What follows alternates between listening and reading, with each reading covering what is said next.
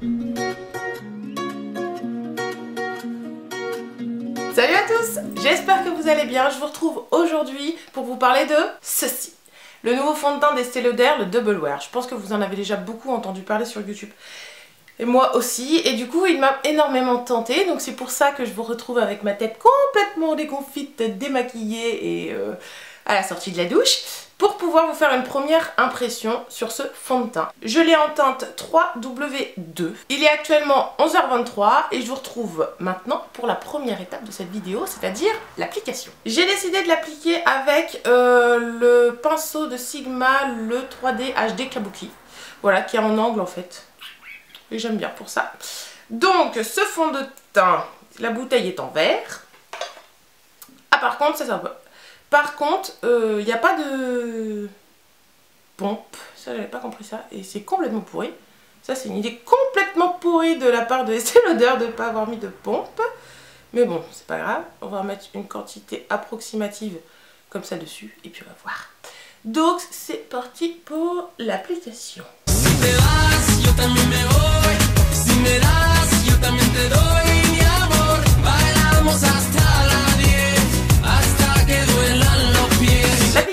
Maintenant faite. Euh, je trouve le résultat... Alors la teinte peut-être encore un chouïa clair et encore. Je trouve que la teinte, c'est pas... Je suis pas si mal débrouillée que ça pour la choisir. Euh, je sais pas ce que ça rend à la caméra, mais en tout cas là, on... Parce que je me suis beaucoup éclaircie par rapport au Revlon que vous avez vu euh, avant. J'ai perdu une teinte en une semaine, c'est un truc de ouf. Alors ma grosse déception c'est le flacon. Alors franchement pas de flacon pompe, je trouve ça complètement pourri. Au niveau de l'application, je trouve qu'au pinceau il se fait très bien. Après il faudra essayer au Beauty Blender et tout. Mais moi j'aime bien le pinceau pour appliquer mes fonds de teint personnellement. Je trouve que le résultat est mat, donc je pense que je vais pas le poudrer. Et euh, je vais juste faire mon, ma poudre bronzante comme d'habitude, un peu d'anti-cerne parce que ça c'est vital pour moi l'anti-cerne. Et je vous retrouve juste après, une fois que j'ai terminé mon maquillage. J'ai fini de me maquiller, j'ai juste appliqué cette fameuse poudre, euh, le bronzer de chez Urban Decay. Voilà, euh, que j'ai appliqué euh, en 3 comme d'habitude. Je n'ai pas poudré ma zone T, hein, donc on va voir ce que ça donne parce que normalement il est adapté euh, pour les peaux mixtes comme moi. donc du coup on va voir si je vais briller dans la journée et si vraiment fallait le poudrer. Je trouve que le résultat, le fini est hyper naturel donc ça c'est très agréable. j'ai fait mes sourcils avec mon crayon à sourcils comme d'habitude de chez l'atelier du sourcil. Et euh, j'ai également euh, appliqué ce nouveau mascara que je suis en train de tester. Je ne sais pas si vous le connaissez. C'est euh, le mascara waterproof de chez Yves Saint Laurent. J'étais très surprise parce que je connaissais le... Enfin ça c'est le effet fossile. Et je connaissais le normal en version pas waterproof quoi. Et il avait une grosse brosse. Et celui-ci en fait a une toute petite fine brosse mais minuscule. Euh, c'est assez perturbant, mais je trouve que le résultat est plutôt sympa. Les styles sont très sympas et euh, pour... Euh, enfin là, je vais pas faire une première impression dessus parce que je l'ai déjà testé plusieurs fois.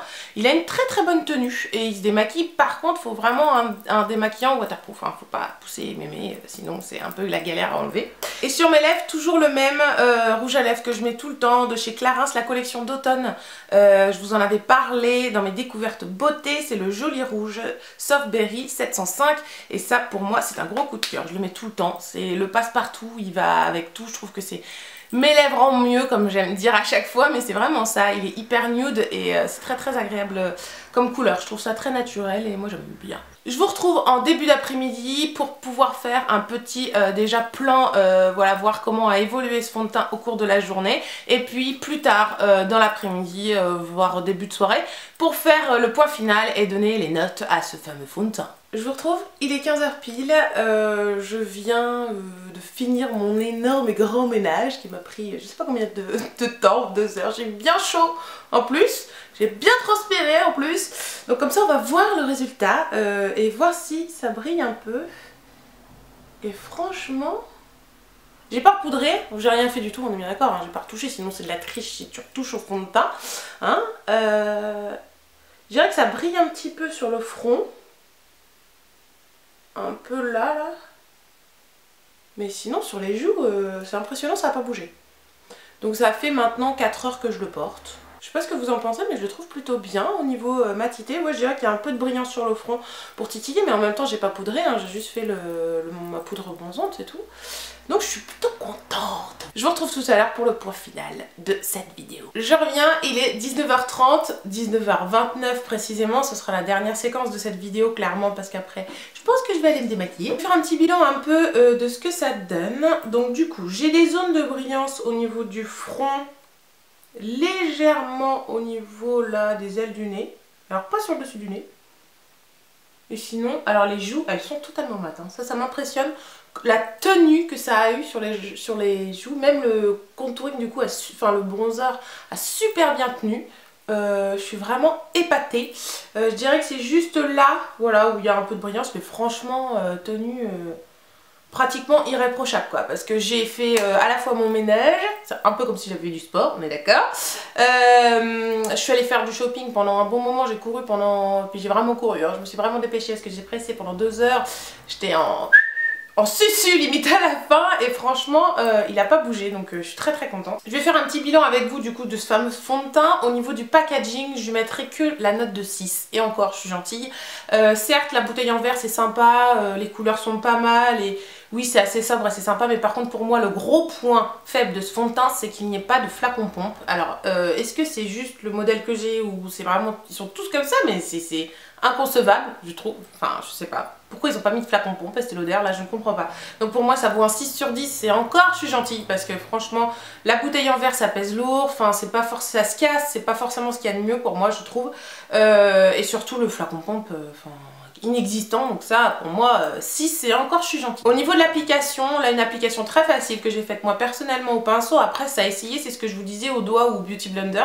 Personnellement moi je mets une note de 8 sur 10 parce que j'ai trouvé l'application très facile, très fluide, il s'est bien fondu à la peau, un résultat hyper naturel donc pour moi 8 sur 10 c'est gentil et c'est bien. Et enfin pour la tenue, la tenue là je pense que vous, vous pouvez le constater vous-même, la tenue est pratiquement irréprochable euh, à part euh, voilà sur le front mais voilà c'est que moi je ne l'ai pas poudré, hein, je précise bien je n'ai pas poudré volontairement pour voir ce qu'il donnait. Pas poudré, c'est-à-dire que si vous le poudrez, mais franchement il tient euh, nickel quoi, clairement. Mais je pense pas que ça fera plâtre. Moi je trouve ça fait un effet hyper naturel. Après je doute que si vous mettez une deuxième couche de fond de teint pour renforcer l'effet, parce que je trouve que la couvrance est moyenne, si vous mettez une deuxième couche, je pense que ça va être vraiment euh, un peu, ça risque d'être un peu cakey et un peu, je, vois le résultat. Je sais pas si vous voyez ce que je veux dire, un peu plâtre.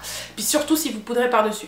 Moi j'aime bien les effets, l'effet vraiment naturel, donc j'ai mis qu'une couche et je l'ai pas poudré et je trouve que le résultat est hyper naturel, ça fait vraiment j'ai pas de fond de teint et ma peau quoi. Voilà, et c'est tout ce que je veux, et moi c'est ce que je cherche d'un fond de teint, je cherche vraiment un résultat hyper naturel. Donc pour ça je suis très contente de ce fond de teint là, donc je lui ai mis 9 sur 10. Au total ce petit fond de teint obtient une note de 7,6 sur 10, et j'ai envie de dire c'est une très très bonne note, parce que j'ai déjà vu des fonds de teint avec des moins bonnes notes que ça. Donc du coup je le trouve très bien, et oui clairement je vous le conseille les filles, si vous n'avez pas encore sauté le pas, c'est vraiment l'occasion de le tester. Je suis vraiment contente de l'avoir essayé avec vous pour pouvoir vous donner euh, mon avis et pouvoir euh, vous conseiller de le prendre, parce que vu le prix, Hein, euh, vu le prix qu'il coûte, je trouve que c'est vraiment un achat qui doit être réfléchi et je pense que vu son prix, oui, il vaut le coup, à part le flacon pompe. Un fond de teint à ce prix-là qui euh, n'a pas de flacon pompe, c'est une honte. Pour moi, clairement, c'est une honte. Voilà, c'est tout. Je vais pas faire beaucoup plus long. Personnellement, je vais aller me démaquiller, me poser, tout ça, voilà. Euh, j'espère que cette vidéo vous aura plu. n'hésitez pas, bien sûr, à mettre en commentaire vos réactions. Si vous voulez me soutenir encore plus, n'hésitez pas à vous abonner à ma chaîne, c'est totalement gratuit. En attendant, je vous souhaite un beau et je vous retrouve la semaine prochaine pour une nouvelle vidéo. Salut